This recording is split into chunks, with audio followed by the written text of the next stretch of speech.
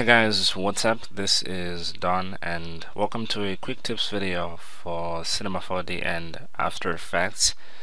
I'm just making this uh, based on an old comment which I saw a while back and somebody had asked me how I do these uh, light flickers animations. Uh, this is an example. As you can see they just sort of turn on one by one and uh, this is actually very very simple. And I'm actually gonna show you only how to do it in Cinema 4D but uh, the aspects and the, the techniques are exactly the same for After Effects. So I'm gonna go to the spline text here and let's just make a quick comp. So drop that into an extrude NURBS. I'm just gonna type in flicker and then I'll duplicate the spline text uh, get a circle give it a radius of maybe two or so and then drop these into a sweep NURBS. So we have like a rim at the front here um, like a lip.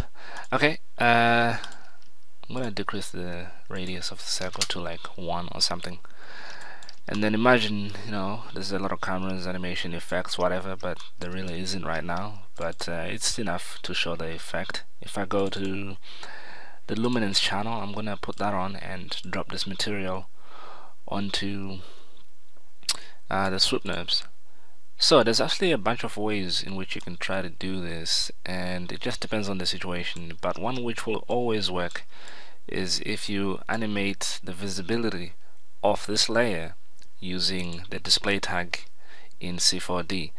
So if I right click I can go to Cinema 4D tags and display tag right here.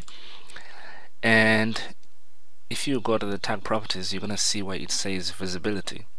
Now we're actually not going to animate 100% or 0% as you can see when I tip the box I can adjust the visibility of this and when I hit render you can see that at 2% we can barely see anything but at 47% we can sort of half see it even though it's almost there anyway.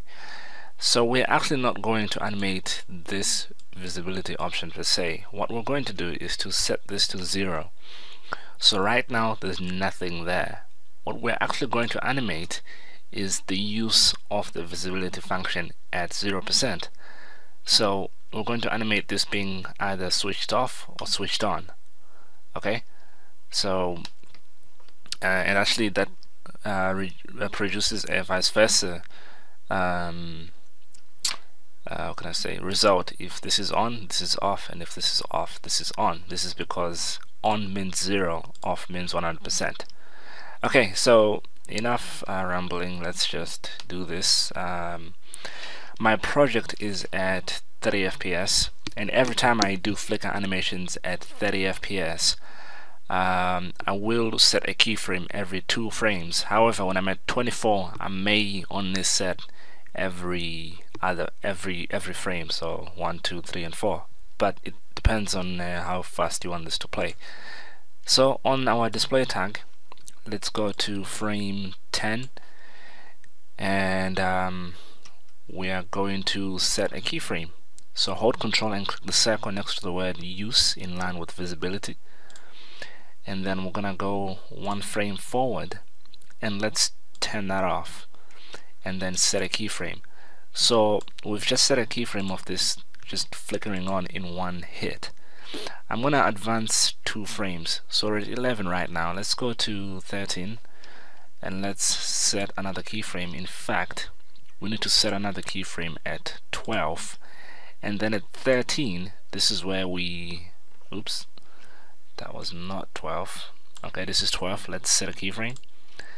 Let's go to 13 and we're gonna turn on the visibility again. And let's uh, advance another frame. Let's insert another keyframe and then at 15 we'll turn that off and bring it back. So maybe that was a little confusing but you get the idea. You basically just want to animate this uh, in a way which looks okay for your animation and uh, you can actually do more flickers than just this double flicker which I use most of the time. So that's one way of doing that. Another way might be to use um, the compositing tag and then animate the seen by camera option.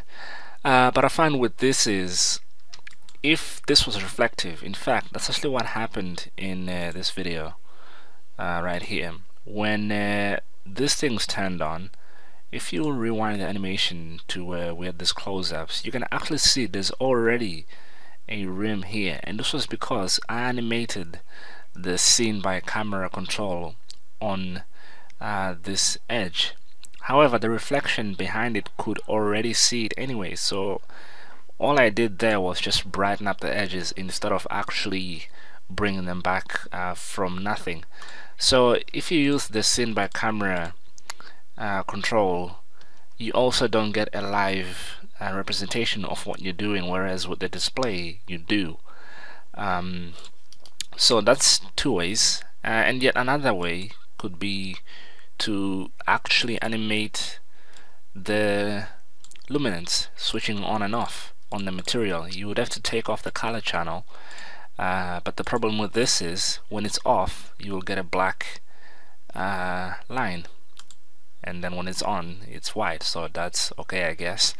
Uh, you know it just depends on what you're doing and you know each method works best uh, in a different situation. And then yet another method uh, this is the fourth method which I probably use more so now is uh, I basically would separate my scene into different renders.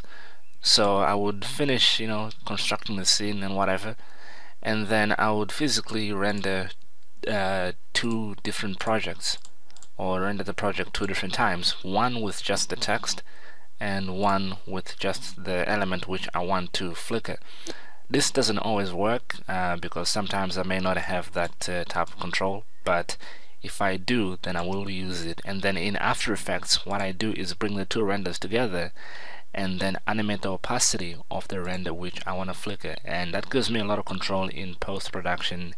And um, yeah so you know I hope that clears that up. Um, I hope you you know found this helpful and uh, if you want to flicker some real lights you can actually just perhaps animate the intensity. Who knows? So thanks for watching and I'll see you in the next uh, tutorial. And uh, don't forget to check out the website. Uh, it's looking pretty good right now and I plan to post a lot more content on there soon. So thanks for watching. I'll see you guys later. Peace out